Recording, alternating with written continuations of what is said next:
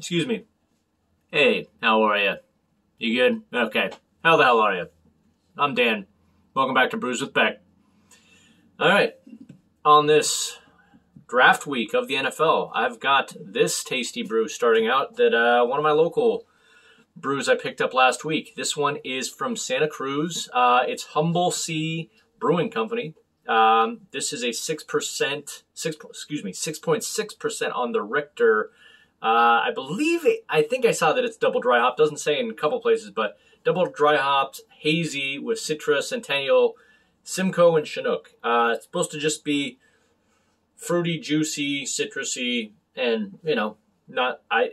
That's all they say on that. But you know, from Citra, I usually think grapefruit, and from Chinook, maybe a little pine. But we'll see. Always depends how it's brewed out. So, uh, what up, Spindletap? Uh, may see you again soon. Uh, Timmy Tebow, how are you? I know you probably don't drink beer. What's up? Go Buffs.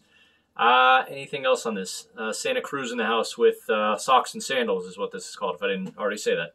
Uh, lovely can. It's for it's uh, you know in honor of their uh, their tourists up there. All right, here we go. And on that note, do me a favor, the like button right below me. If you would crush it or hit it, I would really appreciate you. Thank you. Helps me out a lot. And please subscribe.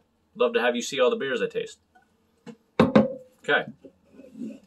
Socks and sandals. I used to be that guy for a little bit when I was a kid. Not not with those sandals, but more sports sandals. And yeah, didn't get it.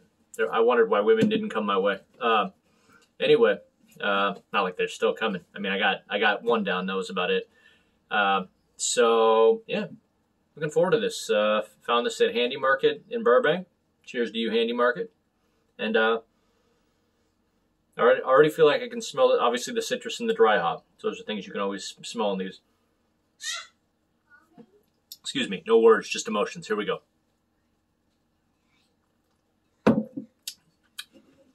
Already taste just like I thought I would from Citra.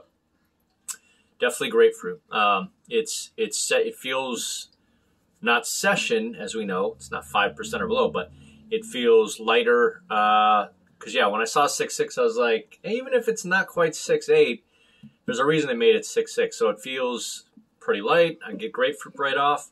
Um, I'm gonna dig into this tourist uh, attraction looking beer right now and see what else I get. Give me one second. I'll come back with more notes.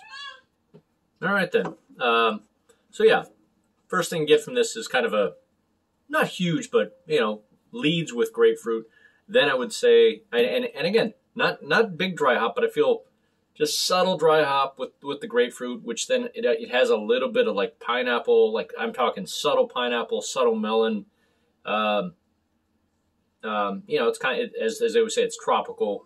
Um, I can't remember. Oh yeah, and yeah, like it might. It has a little like it, it kind of finishes with a real subtle, uh, piney, earthy thing going on. Maybe that's from the Chinook, but I mean, again, and if I was to do this blind, it, it already, you know, six six is already, you know, light.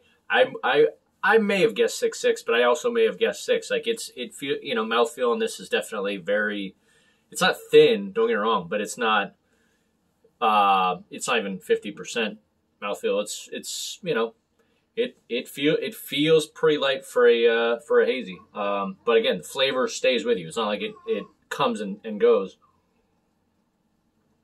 So that's good.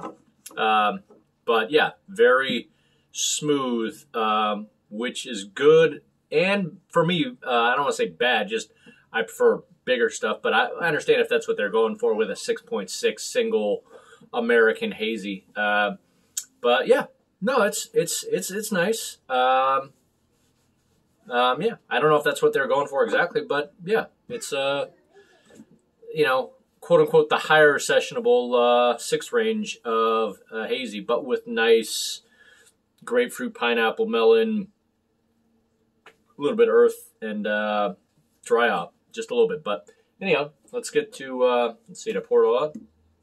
Yeah, and there and there wasn't really any. It's it's little less than a month in the can, so it's still pretty fresh.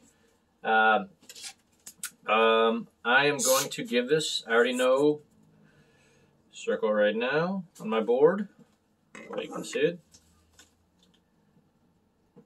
pretty, pretty, pretty decent.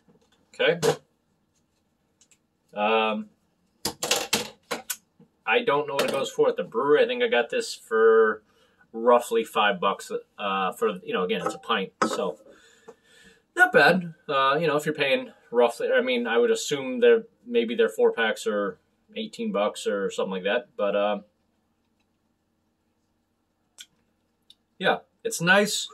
Um, yeah, if you especially you know if you don't want anything too big, uh, too too filling, uh, you know, hot day with with some good flavor that stays with you. There you go. There's your one with the uh, nice socks and uh, I don't know if those are Tevas. They kind of look like Tevas, and they're trying to have flies on them. So pretty awesome. All right.